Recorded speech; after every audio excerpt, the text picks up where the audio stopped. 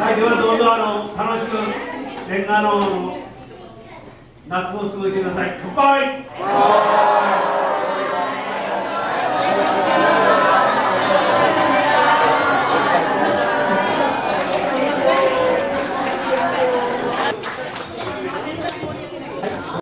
えー、と事務局長します、東佐と申します。皆さんようこそ。えー、私は先ほどね、えー、バスの中でいろいろお話ししたので、えー、分かってらっしゃると思いますので、えー、次の方に移したいと思います。に、えー、福島の方から発って、皆様方とご一緒させていただきました松永です。